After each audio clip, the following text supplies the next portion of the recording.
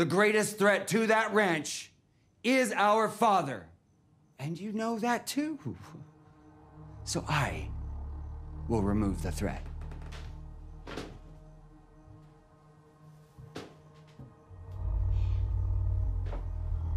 They'll take your approval anywhere you can find it, won't you, Jamie?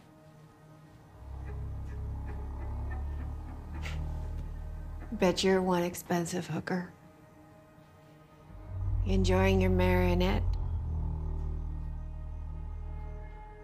Every inch of him. Okay. So it's war. War's over, Beth. No, Jamie. War's just beginning.